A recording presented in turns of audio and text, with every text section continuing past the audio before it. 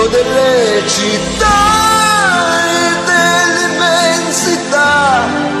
Se è vero che ci sei hai viaggiato più di noi, vediamo se si può imparare questa vita e magari un po' cambiarla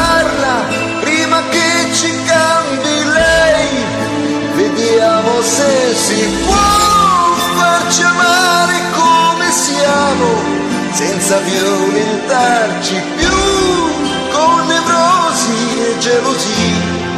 Perché questa vita stende e chi è steso dorme muore, oppure fa l'amore